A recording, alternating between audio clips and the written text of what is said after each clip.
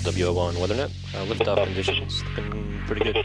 ESPS is ready for launch. Ignition. Liftoff. Falcon 9 has cleared the tower.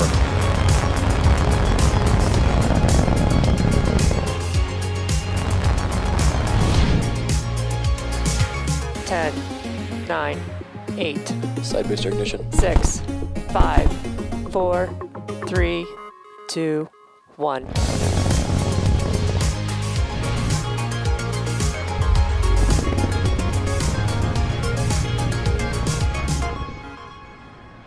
Good afternoon. It's Tuesday, June 29th, and we're here at SpaceX's headquarters in Hawthorne, California. You're looking at a live view of Falcon 9 as it awaits its 2.56 p.m. Eastern Time launch from Space Launch Complex 40 at Cape Canaveral Space Force Station in Florida. My name is Andy Tran, and I'm a production supervisor here at SpaceX. Welcome to the webcast for SpaceX's Transporter 2 mission. It's our second dedicated smallsat rideshare program launch and our 20th launch of 2021. SpaceX created this program to provide small satellite operators with more flight opportunities and flexible flight times at a competitive price. There are 85 spacecraft on board in addition to three Starlink satellites. This includes CubeSats, microsats, and orbital transfer vehicles, sometimes called space tugs, which would deploy their spacecraft after separating from Falcon 9. On screen is Falcon 9 at Space Launch Complex 40. The two-stage rocket stands 70 meters tall, and that is greater than the wingspan of a 747 aircraft. We prep Falcon 9 for launch in our hangar at the base of the pad, and then upon completing final checkouts, Falcon 9 rolls out to the pad and uh, goes vertical. Today's mission is the eighth flight for this particular booster. It debuted about a year ago on the GPS-3 Space Vehicle Number 3 mission, and it also supported the Turksat 5A mission as well as five Starlink missions. You can tell by the re-entry soot on the bottom of the vehicle that this booster has flown before. The bottom two-thirds of the vehicle is the first stage. Its objective is to accelerate the vehicle through the Earth's atmosphere to space and then separate from the rest of the rocket. From there, it will make its way back to Earth and target a landing back on land this afternoon on Landing Zone 1, which is the pad that you see on screen right now. And if you are an Eastern Florida resident, you might even be able to see Falcon 9 over the ocean and hear one or more sonic booms as Falcon 9 makes its way back to the landing zone. On top of the first stage is the black carbon fiber interstage. It connects the two stages and houses the pneumatic pushers that allow the first and second stage to separate during flight. Then on top of the interstage is the Falcon 9 second stage, which takes the payload to its eventual destination in orbit. After the first stage separates about two and a half minutes into flight, the second stage will then carry the 88 spacecraft to orbit.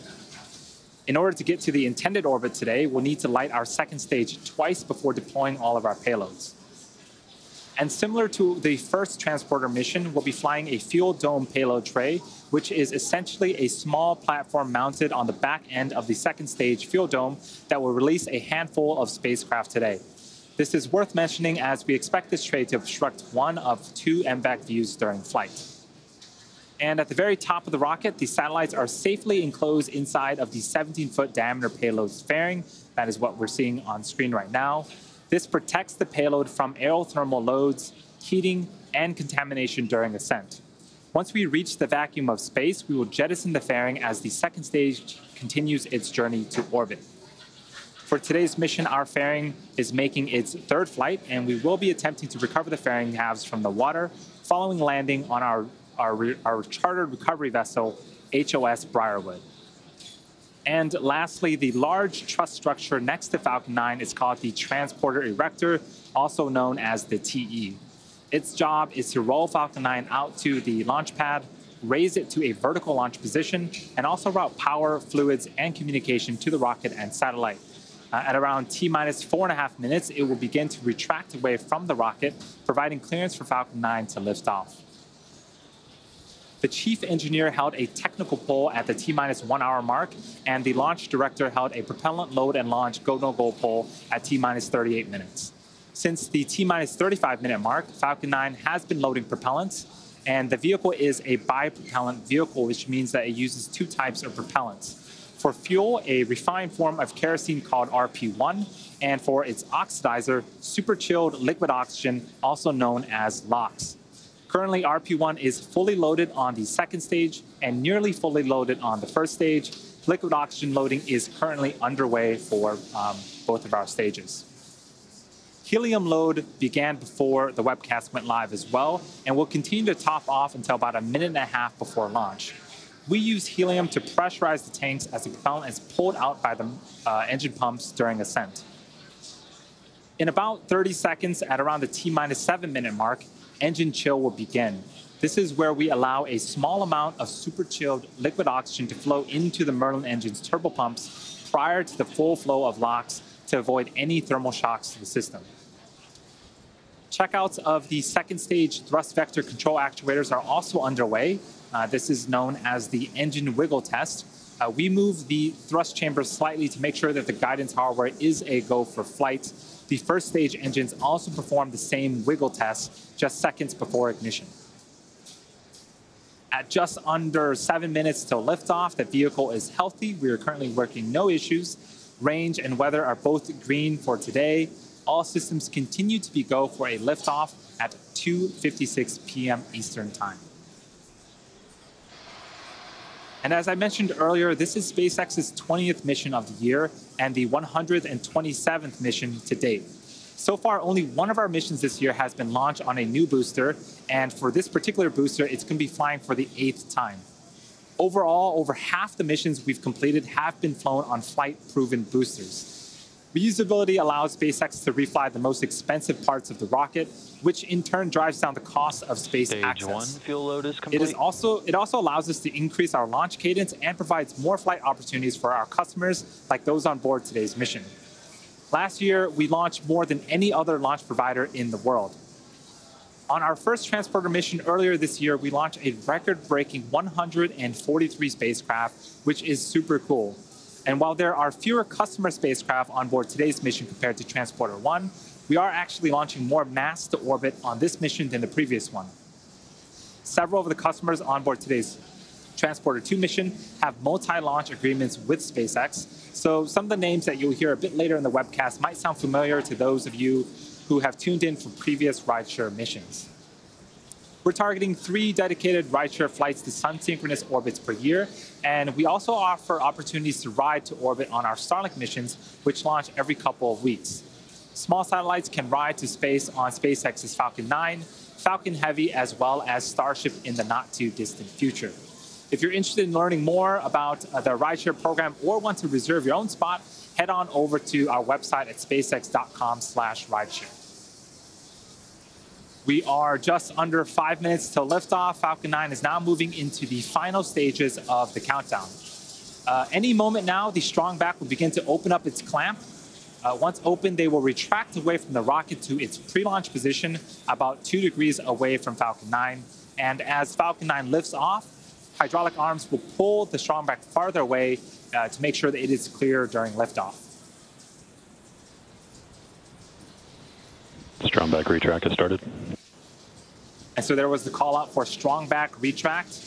Uh, you can see the clamp arms just under the fairing start to open up.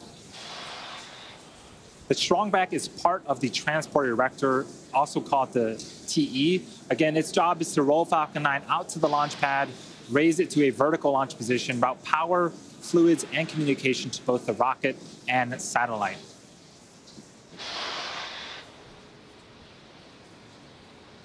And you can start to hear some of the hissing and popping, and that is pressure venting from the rocket and the plumbing in the transporter erector.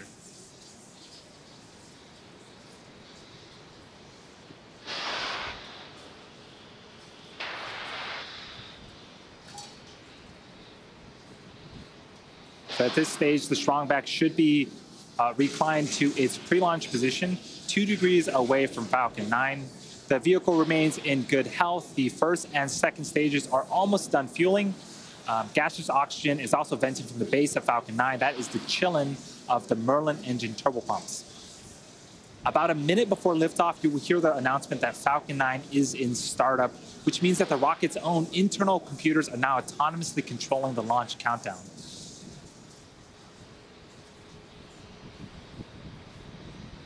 And just to check, quick in on weather, we're still green. The range is standing by to support today's mission. As a reminder, if we don't launch today, we do have a backup opportunity tomorrow at the same time.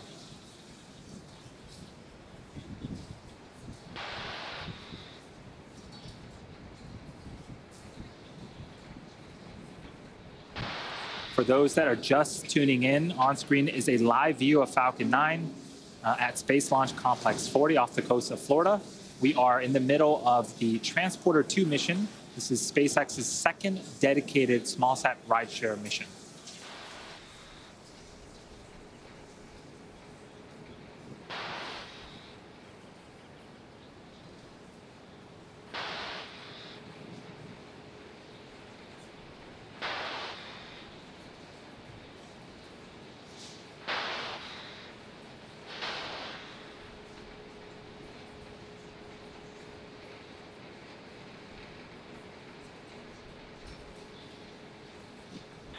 Stage two LOX load complete.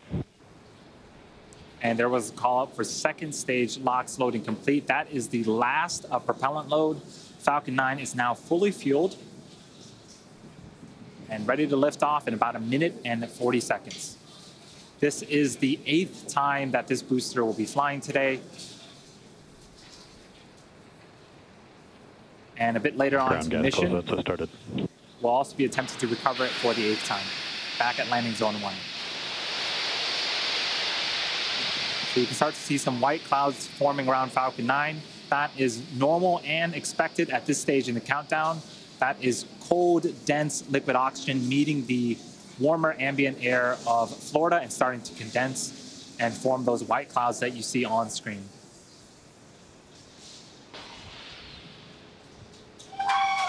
Flight computers in startup. So we have some excitement here in Hawthorne, but uh, with the count. Falcon 9 is no good. We'll hold at 30 seconds of range status does not change. Falcon 9 is in startup, and this means that the first and second stages are beginning to pressurize for launch.